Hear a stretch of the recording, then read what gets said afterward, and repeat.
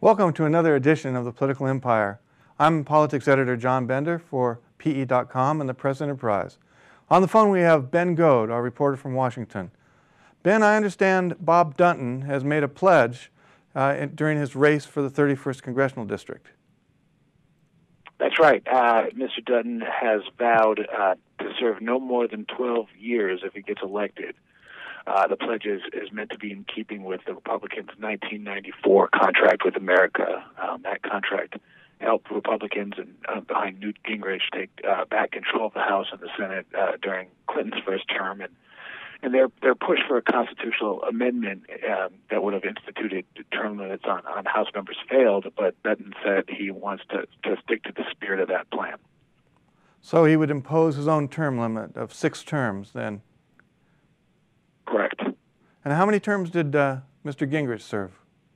Uh, Mr. Mr. Gingrich served uh, 10 terms. He served uh, 20 years between 1979 and 1999. Okay, and how has uh, Dutton's opponent taken this pledge? Has he agreed to it? Uh, he he has said nothing, but Mr. Dutton's opponent is, is Gary Miller, and he has served 14 years, so seven seven terms so far, and and is obviously running again. Very interesting. Thank you, Ben. Ben's also been covering the uh, race for the 41st Congressional District for us. And Ben, you wrote a story recently about uh, Democrat Mark Takano, uh, who's an openly gay candidate for Congress. Ben, is that an issue in this race? I know it was in, was it 98? 1994, uh, it was a major issue. Uh, during that campaign, you remember, uh, Takano was effectively outed as being gay.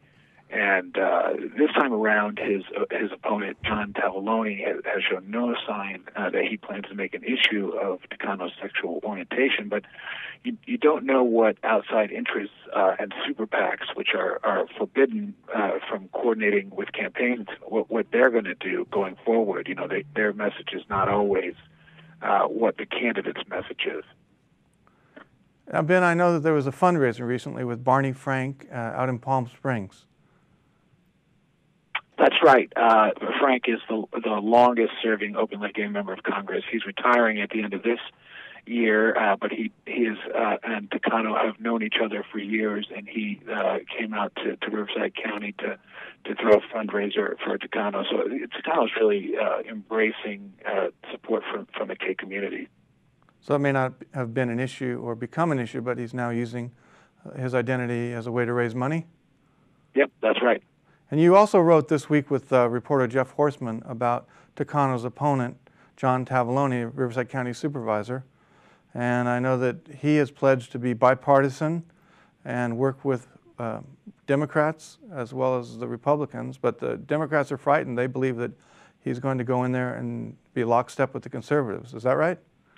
Uh, that's what they're saying. I don't know if that's what they believe. They've they've certainly been trying to brand uh, uh, as a, as a, uh, conservative Republican who's not really in step with with the district, which is pretty evenly divided between uh, Democrats and Republicans. Uh, Jeff Horstman and I uh, took a look at at. Uh, Tavaglione's record as a supervisor and also as uh, president of the California State Association of Counties, and and in those roles, he's certainly broken with uh, the party. He uh, supported Jerry Brown, uh, Governor Jerry Brown's plan to temporarily extend some tax increases. He also opposes portions of the the, GO, the GOP's budget proposal, including the plan to, to overhaul uh, Medicare. He says that's too radical.